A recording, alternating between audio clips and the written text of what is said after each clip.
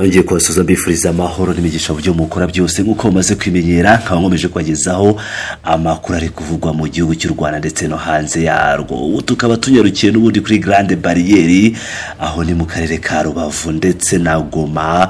Uh, dore ko uyu mu iyi bariyeri cyangwa uyu mupaka ukaba uri hagati y'i- y'imijyi ibiri hagati y'umujyi wa goma ndetse n'umujyi wa rubavu. Niho habereye ukurasanaho hagati y'abasirikare b'u rwanda rdf ndetse n'abasirikare ba repubulika ya demokarasi ya kongo frdc eh, nyuma y'uko umusirikare wa frdc aje ku butaka bw'u rwanda ari kurasa amasasu menshi. Bikaza kurangira rero abasirikare ba kongo frdc nabo barashe amasasu menshi ku birindiro bya rdf ibintu rero byatumye igoma ubu baturage bafite ubwoba eh, nk'uko bisanzwe n'ubundi batinya rdf ariko nyuma y'igikorwa eh, cy'abasirikare babo bakoze ku rwanda. Bakaba bafite ubwoba eh, ndetse ibi bikaba bibaye bibaye ni ukuvuga bibaye kuri uyu umusirikare wa repubulika ya demokarasi ya kongo. Akaba atari ubwa mbere bibaye akaba ari ubugira gatatu. Umusirikare wa kongo araswa agerageza kurasa ku basirikare b'u rwanda. Ibintu noneho nyuma y'uko igoma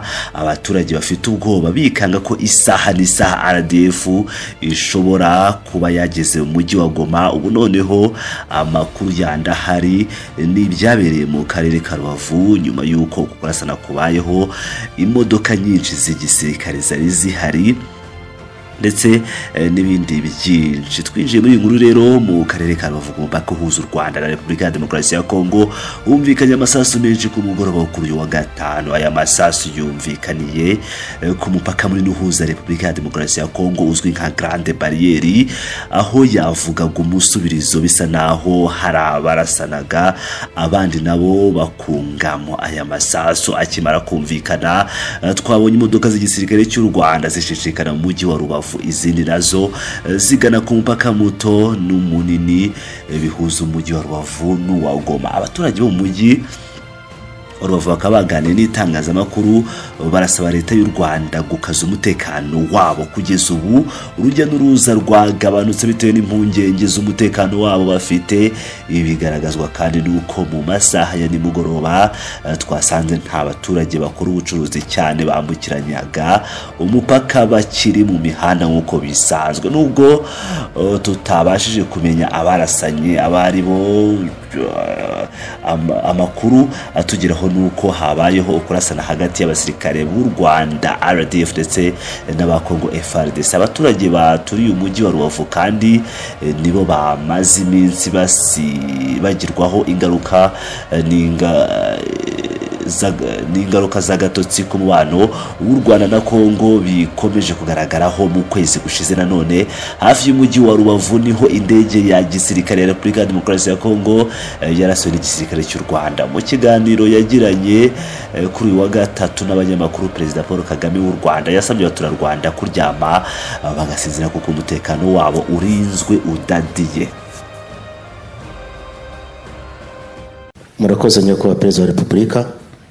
Nitwa kensi nkaba ndi umunyamakuru wa tv na radio one. Ah, ikibazo cyanjye kiragaruka muri congo ko twese turahangayitse nk'abanyarwanda. Umugaba mukuru wungirije w'ingabo za congo general kiwewe aprito chiko yitangarije yuko amaze iminsi azenguruka mu bihugu bya sadak kugira ngo intambara y'u rwanda bayitsinde. Kandi wumvise n'amagambo amaze iminsi avugwa yaba ari perezida nubwo babifashe nk'aho ari imikino yivugiye ku giti cye yuko ari wowe kibazo cy'umutekano muri afurika. Wareba ibyo abandi bose babajije nkabona yuko tubifata nk'aho ari ugukina ariko wenda bikaba ari na seriye ese twaba twitegura yuko tujya guterwa na kongo kuko banavuze ko bashaka kutwanekisa tukaba intara ya munani. Murakoze mwadusubiza kuri ibyo mukaduhumuriza cyangwa se mukaduteguza tukitegura. Reka mpere ku- ku- kubahumuriza ni cyo kiri important ni cyo cyangombwa ni cyo gikuru. Eh, ibyo ubwabyo nta- nta- ntaho mbona bishingiye. Ntaho mbona eh, byashoboka. Nushaka uryame usinzire wicuye wiyongere nta- ibyo ntabwo ari ikibazo. Eh, ibyo umuntu umwe yaba yaravuze muri congo bi- ibyo afite uburenganzira bwo kuvuga ibyo ashaka kuvuga ntabwo bivugwa byose biba ari ukuri. Cyane cyane iyo bivugwa kuri iki kibazo cya congo bikivugwa n'aba- n'abanyekongo bo muri leta. Eh, ariko icyo nzi ni uko eh, sadak ishobora gushaka gufasha ahubwo na yo mu gukemura ikibazo cya kongo ntabwo nibwira rero ko gushaka gukemura ikibazo cya kongo nubwo abenshi bashobora kugikemura bashaka kugikemura bakagikemura nabi cyangwa baka- bakaba bagira ibyo bakora biteza eh, bi- bizana eh, intambwe guterwa mu gukemura ikibazo. Ntabwo nibwira ko bizagana mu kugirira nabi u rwanda bafashije kongo ntabwo mbibona. Mu- kubona kwanjye ntabwo mbibona.